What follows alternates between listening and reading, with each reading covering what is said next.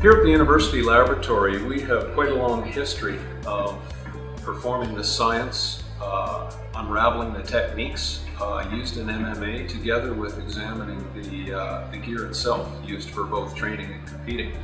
Uh, a couple of years ago, we partnered with uh, Hayabusa. We developed a, uh, a striking machine that where we, we casted a, a, fist and arm, and it delivers a blow every two seconds, literally for days.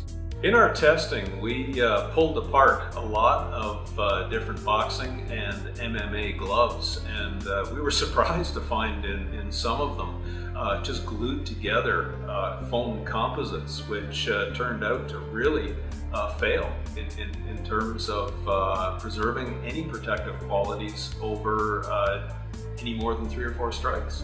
We spent literally thousands of hours testing different configurations to find the, the magical blend between optimal energy dissipation and protecting the uh, fist and wrist of the, uh, of the athlete.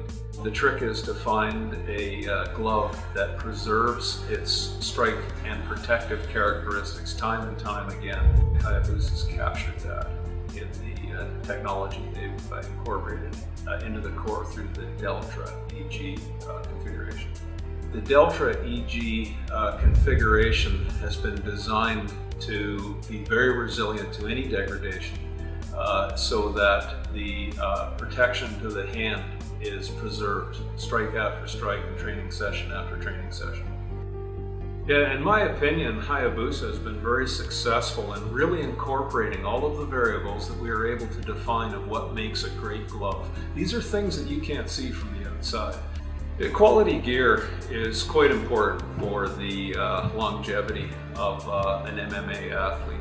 Uh, if the gloves are bottoming out, they're, they're uh, really risking their uh, hands and uh, wrists, which, which are the tools of their trade. With the Deltra EG, it was flawless. There was no bottoming out. This uh, latest technology uh, incorporated into the Deltra EG uh, composite gloves uh, had practically zero degradation over thousands and thousands of strike cycles.